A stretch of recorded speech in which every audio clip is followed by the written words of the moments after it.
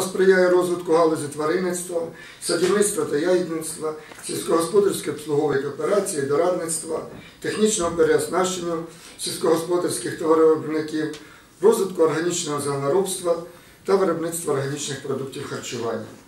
Також програма дає можливість доступу малим сільгоспвиробникам до пільгових кредитів.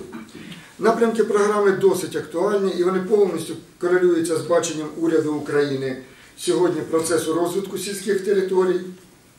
Цьому я ще раз переконався, беручи участь в презентації проєкту Євросоюзу з підтримки розвитку сільського господарства, малого фермерства та особистих селянських господарств, яка відбулася 6 лютого цього року в місті Києві.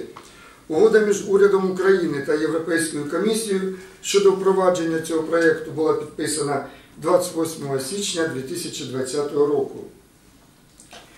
На е, 2016-2019 роки програмою передбачення виділення коштів з обласного бюджету 38,6 млн гривень.